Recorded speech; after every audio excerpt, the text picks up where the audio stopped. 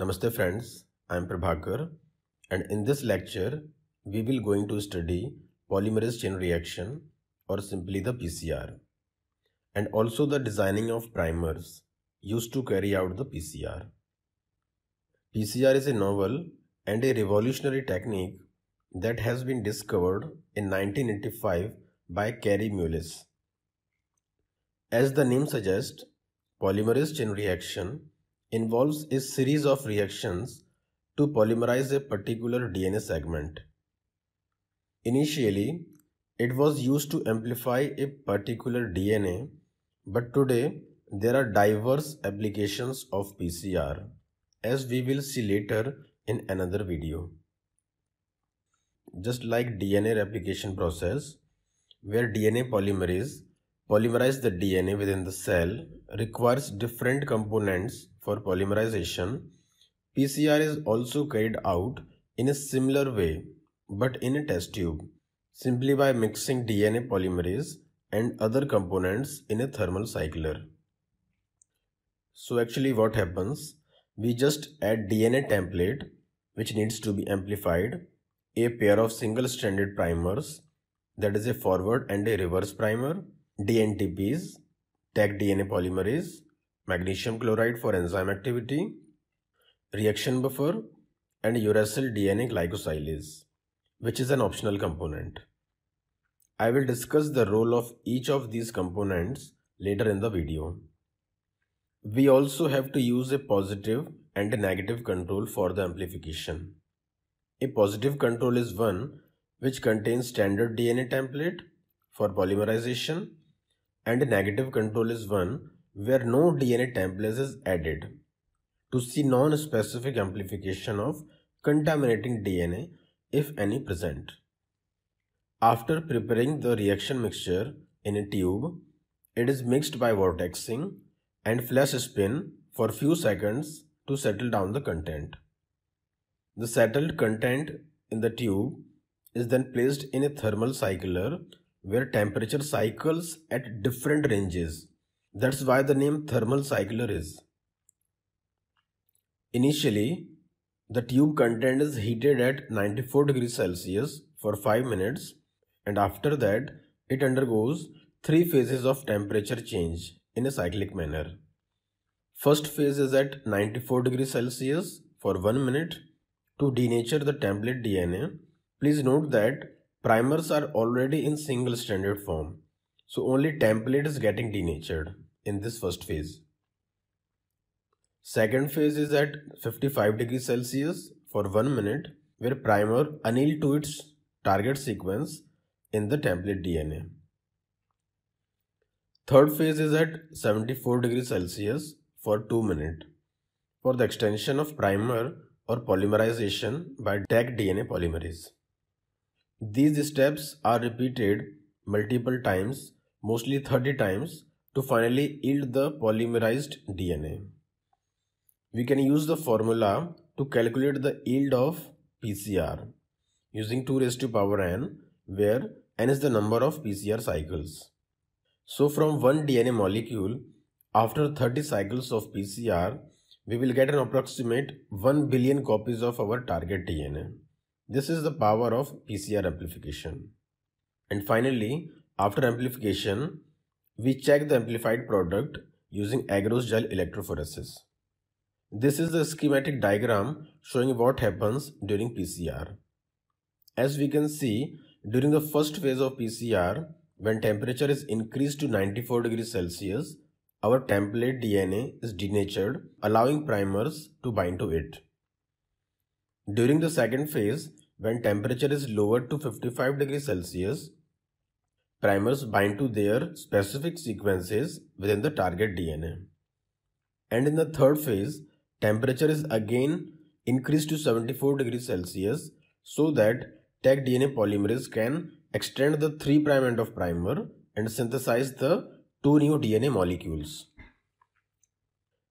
Now the important point is that we can see temperature of first phase and the third phase is constant whereas the temperature in the second phase is showing a range of temperature because at first phase of 94 degrees Celsius DNA get denatured and at the third phase of 74 degrees Celsius, Taq DNA polymerase is active to polymerize the DNA. The temperature of second phase is used to anneal the primer to the target DNA.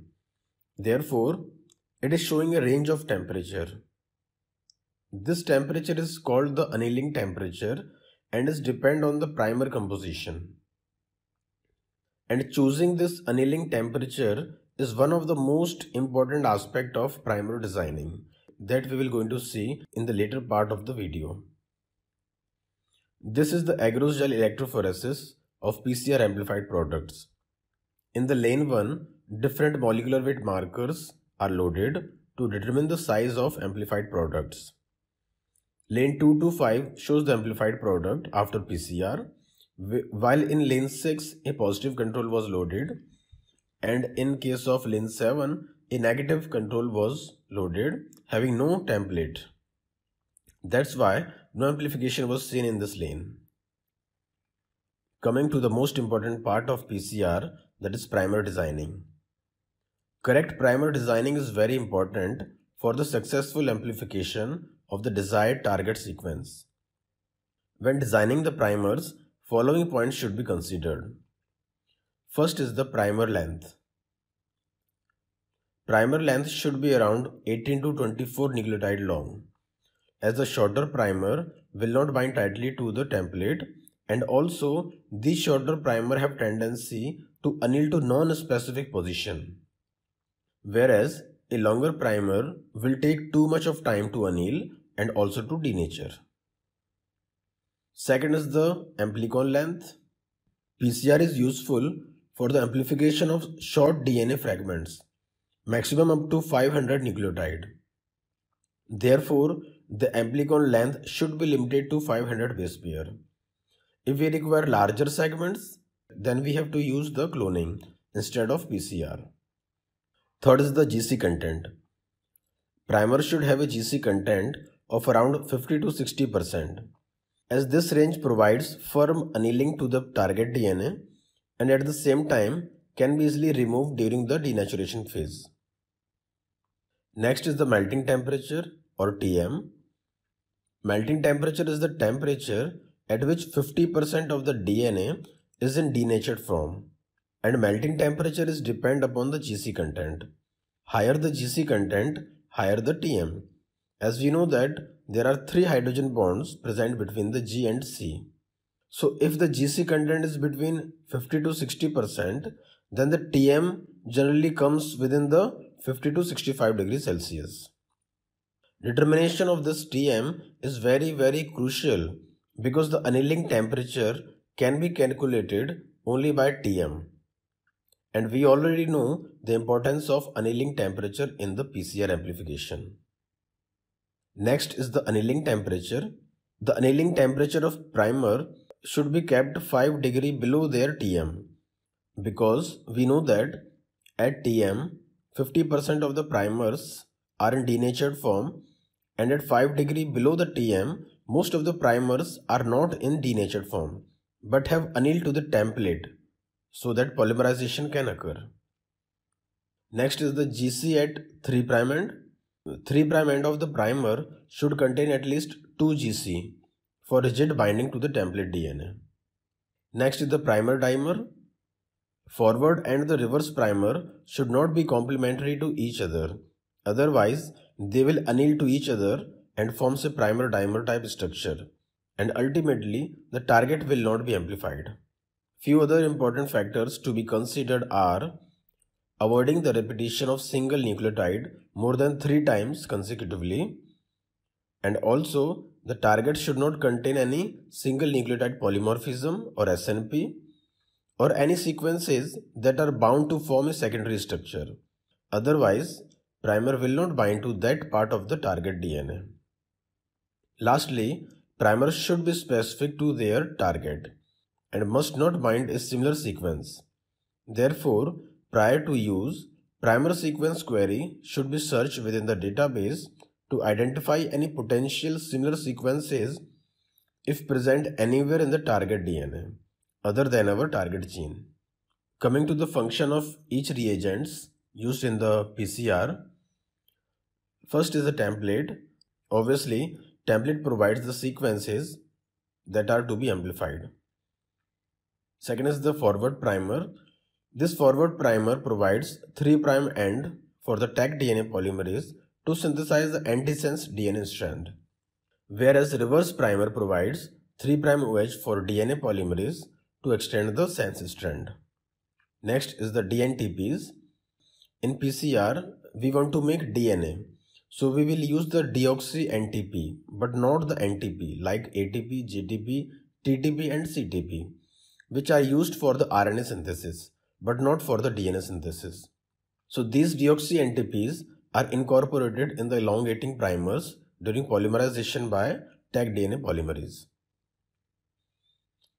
Next is the Taq polymerase. Taq polymerase is a thermostable DNA polymerase obtained from thermophilic bacteria called Thermus aquaticus. Why are we using this thermostable enzyme? Because we are increasing the temperature to 94 degrees Celsius for denaturation of template in the first phase of PCR. So a thermostable enzyme can resist this increased temperature. Next is the reaction buffer. We know the function of any buffer that is buffer resist any change in the pH as it contains equimolar concentration of acid and its conjugate base. Next is the magnesium chloride. DNA polymerase requires a divalent cation like magnesium ion for their activity. Therefore, we are adding the magnesium chloride. DMSO or dimethyl sulfoxide Sometimes DMSO is also added to prevent the reannealing of single-stranded DNA that have been formed after denaturation. Last component is the uracil glycosylase.